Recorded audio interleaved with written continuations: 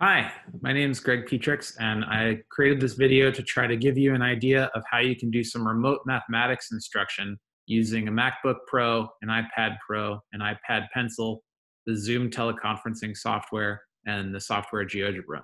Before I talk anything about what I'm going to do, let me show you what's possible.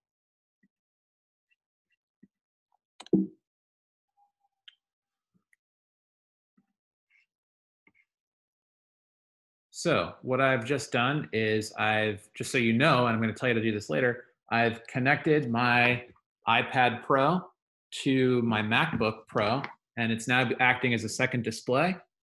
And I can bring in GeoGebra, a popular open source technical computing software for teaching and learning mathematics. And I can do all sorts of fun math stuff in this window. Um, I could plot a function. I could take its derivative. And also at the iPad pencil, I could use the pen to make notes on here.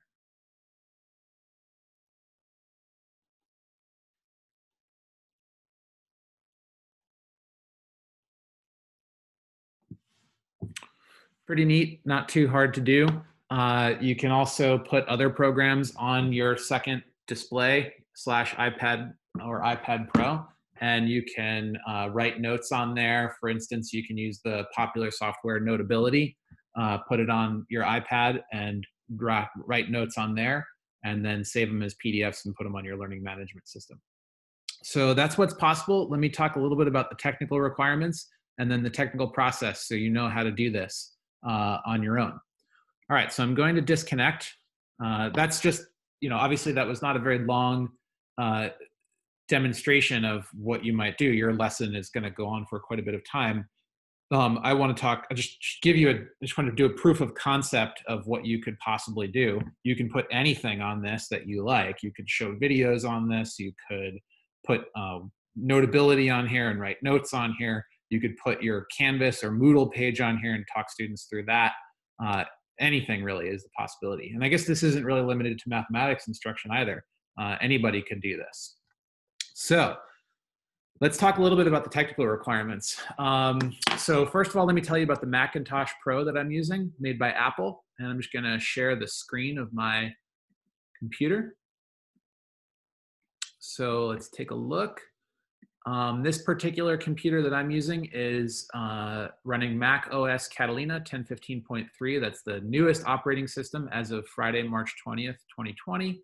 It's a 13 inch from 2017, um, 3.1 gigahertz dual core Intel Core i5. I've got 16 gigs of RAM. Um, I don't know why that wouldn't highlight. It's uh, not necessarily the best machine, but it's pretty good machine. It's also not the newest machine. It's three years old at this point. Good computer though.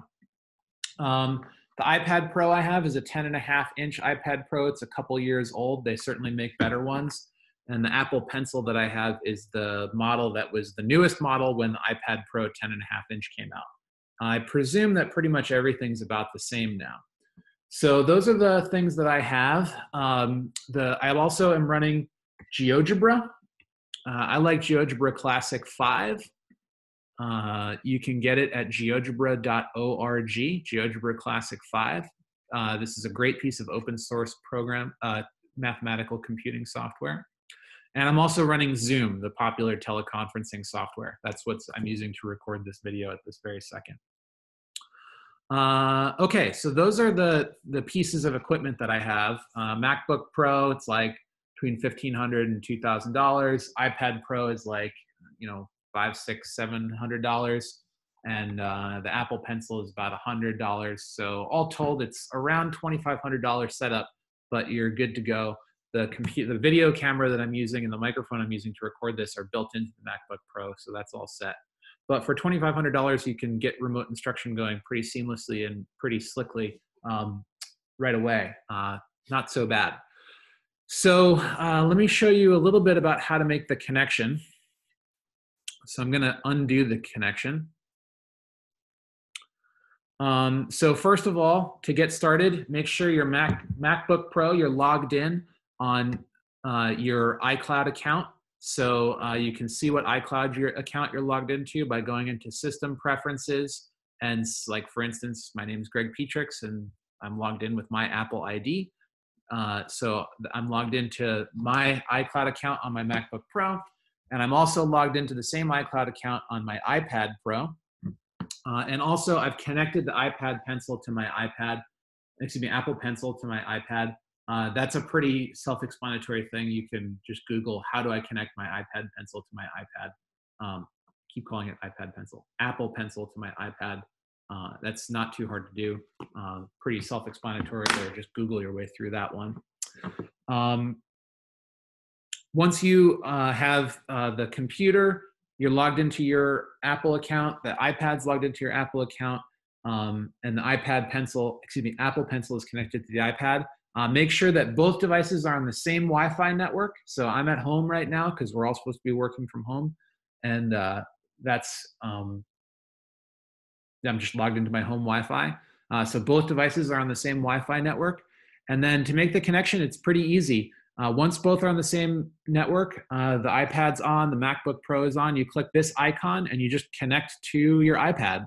Um, if you don't see this icon, go into the system preferences, uh, open up displays, and make sure this box is checked. You see how it open when I check it and uncheck it, it makes that icon go away.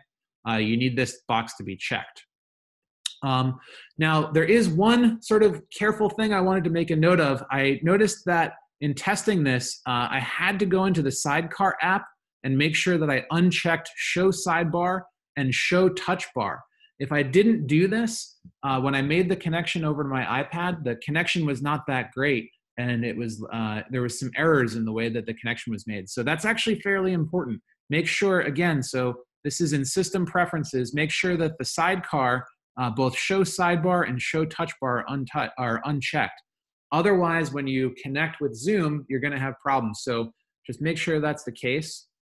So now I'm going to make the connection to my iPad. And as I do that, a couple of things kind of change. But uh, my iPad is now turned into a second monitor for my MacBook Pro. So that's kind of cool. So what I'm going to do is I'm going to stop sharing on my MacBook Pro uh, that's just a Zoom control. So in the Zoom program, click Stop Share. And now you no longer see my MacBook Pro screen. And I know you can't see what I'm doing, but I'm going to click Share Screen on Zoom. And then I'm going to click Desktop 2, which is my iPad. And now you should uh, be able to see my iPad. And so now I, this is how I introduced this little video uh, where you were actually looking at my iPad screen. And so now I can bring GeoGebra in here. If you want, you can maximize it. Sometimes people don't like maximizing it. It's kind of up to you. And you can um, write whatever you wish with the Apple Pencil. Um, one thing to note, your finger doesn't work. So when I go to touch this with my finger, I can't make notes on here. But uh, so you can kind of see like it doesn't work, but when I write with my pencil, it does. So that's a good way that you can direct your students' attention to what you want them to direct attention to, uh, direct their attention to while you're doing remote instruction. Um, and of course, in Zoom, if you're familiar with Zoom, you can record everything that you do to your computer or to the cloud. It's up to you. Um, uh, I kind of like recording it to my computer and then uploading the videos to YouTube because I like the controls for my students on YouTube a little bit more but some people just don't like that extra step in their workflow and so they just upload it to the zoom cloud and let the students watch it on there. But that's totally up to you. You have every right to decide how you want to conduct your class remotely during these uh, challenging times.